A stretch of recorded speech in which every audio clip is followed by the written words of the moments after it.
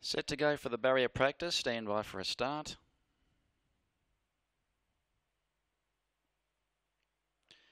And uh, they're off and racing now, and a new power began well. Stunning Sapphire was about three quarters of a length away on settling.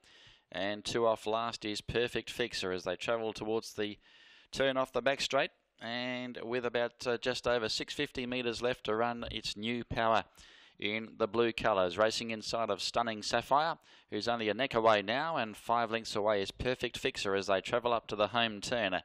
It's New Power, the inside, the outside Stunning Sapphire. Locked in battle around the home turn, and they have about eight lengths on the other one, which is Perfect Fixer as they come down the running now. And with 200 to go, it's on the inside, New Power.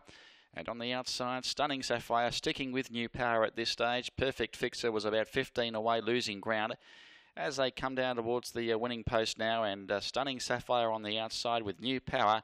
Uh, Stunning Sapphire has the bib in front, getting close to home, and Stunning Sapphire wins it over New Power. And Perfect Fixer was a long and distant third.